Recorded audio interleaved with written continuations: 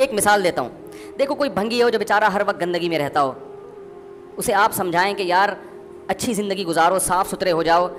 आपने किसी दिन उसको नहला दिया बेहतरीन कपड़े, डेटॉल से नहलाया, सर्विस करवाई, क्योंकि ज़ाहिर है वो इतने दिनों से काम कर रहा है तो वो सर्विस के बगैर धुलेगा नहीं। सर्विस करवाई आपने उसकी हो नहला धुला के उस पर स्प्रे छिड़क दिया आपने, और तीन दिन तक कंटिन्यू यही काम किया तो आप मुझे बताओ, उसको बुरा फील होगा या अच्छा फील होगा?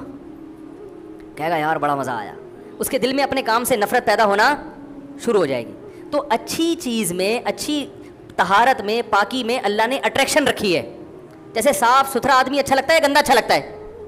साफ़ सुथरा अच्छा लगता है। तो साफ़ सुथरे अमाल वाला भी इंसान को अच्छा लगता है। तो अल्लाह ताला ने इस्लाम को जो डिफ़ाइन किया दो लफ्ज़ों में अच्छा खाओ और अमल अच्छा करो। क्या मतलब ऐसा काम करो कि गैर मुस्लिम तुम्हारी तरफ़ माइल हो कि यार ये बड़े अच्छे हैं।